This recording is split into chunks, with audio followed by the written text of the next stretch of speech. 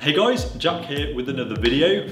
The first thing I want to introduce, which is a bit exciting, and you've probably noticed that the background behind me is a bit different, and that's because we have now got a better space to do our VR stuff. Look how much space we have, it's amazing. Um, yeah, we've got a huge area now to try VR. We've probably got enough to almost have two really good room scale size multiplayer games going on at the same time, which we're definitely going to try. Um, and this is in preparation as well for the Vive Pro, um, which is going to be a maximum space of 10 by 10, which even this room is still smaller than that, but we're going to have at least, I think, almost like a 5 by 5 play area, which is pretty amazing. Um, so we're looking forward to that. The walls are going to be covered, we're just waiting for some crash mats. So uh, if you punch the wall, you're not going to break your hand or the controller. Win-win really. Um, so we're pretty excited about that. We should get a lot of that done today when we're doing this video. So we'll have some more to show you with that when it's completely finished. But we just wanted to give you an update with that now.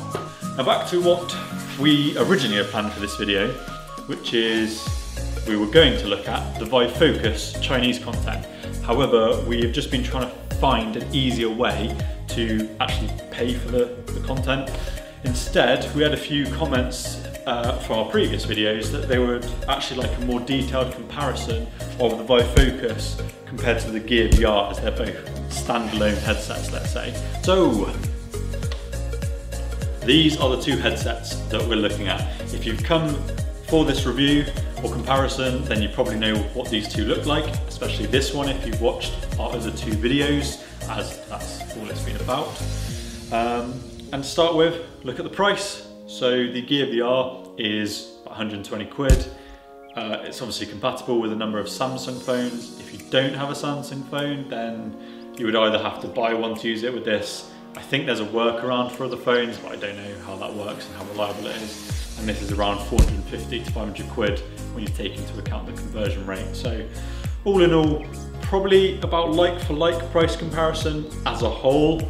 Most people have smartphones, so you wouldn't have to specifically go and buy one for this. Um, but if you didn't, you probably would. As for the display resolution, for the Gear VR, this massively depends on the phone that you're using. I have a Samsung S8, which has a screen resolution of 2960 by 1440, but that's probably not exactly what you'll get because obviously when you're in VR, it minimizes the screen to the, the lenses that you normally see.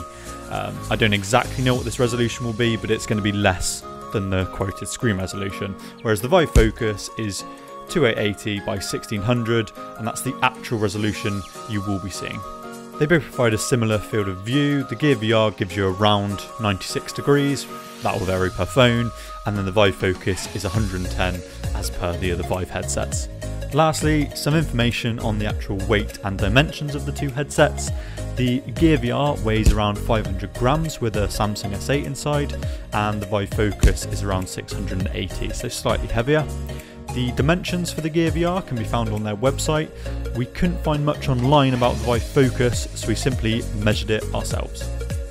Now moving on to the general use of the headset, starting with comfort, we actually think both of the headsets do really well. Um, we don't have any major complaints.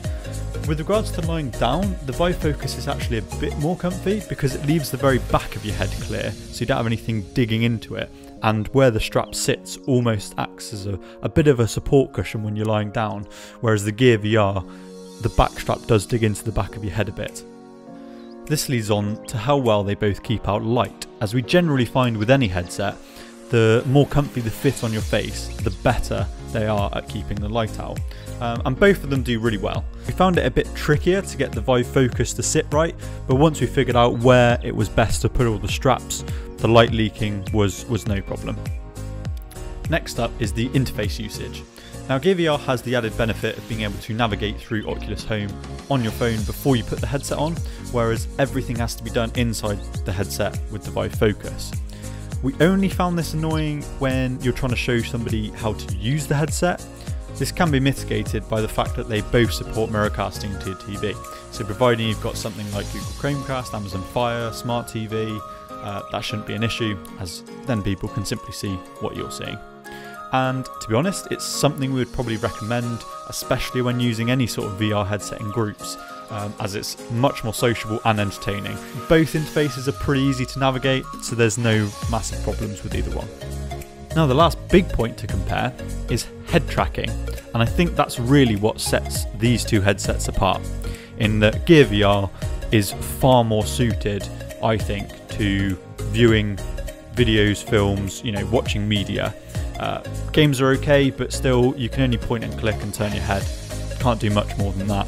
Whereas the Vive Focus, obviously, you can move around in a either 2x2 meter space if you want the chaperone turned on, or you can disable that. And as we've shown, you've got unlimited play area. Now one of the weaknesses of Gear VR is that they're not all in one. They're not an inclusive headset. Whereas Vive Focus and hopefully the other standalone headsets that are going to be coming out, it is literally put it on your head and you're good to go. So as a quick comparison, we're going to see who it takes longer to get going on our respective headsets. And go. Thing. Oh no, failed. No. Alright, um, I'm in, I'm in Fruit Ninja. what?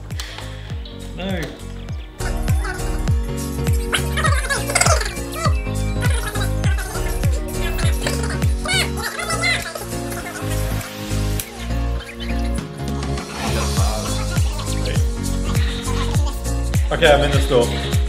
Hey. I'm in the store.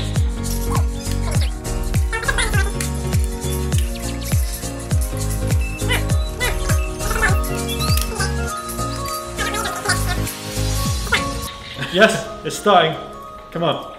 Okay, I'm in. Alright. I'm in. Okay. Yes, I made it. So yeah, that's how long it took uh, to get these going. it's a bit more depressing when you've got to wait for your phone to turn on. Probably not, you know, 100% realistic as not many people go around with their phones turned off. So that was the last little fun test that we did on the two headsets to see how easy it was to get them both going. The Vive Focus is the clear winner. Samsung doesn't take very long still, but you can just see that the standalone headset is the natural evolution what the Gear VR was supposed supposed to do. Um, know, it's all in one. You put it on and you play, no faffing around. And it'll be really interesting to see what the other standalone headsets are. So we've got Oculus Go that should be in the next few months, the Pico Neo coming out this year as well, and the, the mysterious Santa Cruz. But we'll see what happens with that. There's not much information out there. Um, but our overall conclusion, they're still both good. You know, the Gear VR is just over two years old now, so it's had a bit of time to be out there. The Vive Focus is the first of this standalone generation, so it should just keep getting better, and that's that's definitely where the focus should be because it's just all good to go. You pop it on and you play. So guys, I hope you liked that video and that you found it informative. We probably haven't answered every question that you wanted answered, but do drop us a comment below if you want to find out anything else. Otherwise, please remember to subscribe. Thank you.